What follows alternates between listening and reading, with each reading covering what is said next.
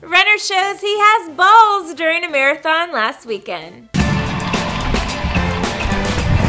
Hey, thanks for tuning into The Fumble. For more on all your favorite athletes, make sure you click subscribe and join the notification squad for updates on all the latest. I'm your host, Britt Johnson. It's about that time again, The Fumble's random story of the day. Sometimes these stories get pushed to honorable mentions, but you know what? I have time today, and this one is way too funny to wait until the weekend to show.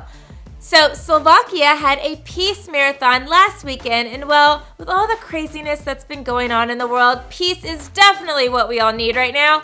And along with that theme, I want you to head to the comment section now and say something nice about one of your fellow Fumble fans. I promise it won't hurt you to be nice. Okay, now that we've all done that, let's just come together for a good old laugh. A runner named Jozef Urban beat his previous fastest marathon time by 27 seconds.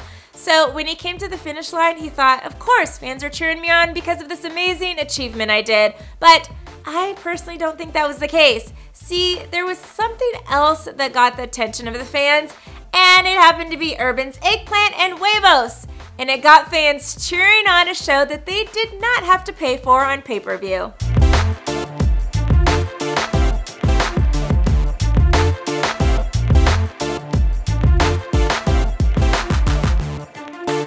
Wish we could show you guys the uncut version, but trust me, you really don't want to see it anyway. My question is, why isn't this guy wearing any underwear? Don't you need to like protect those things from bouncing around everywhere?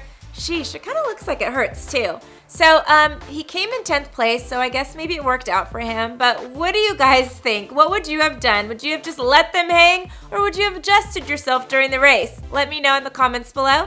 Like, subscribe, and shop the Fumble Store before you go, and I'll see you next time.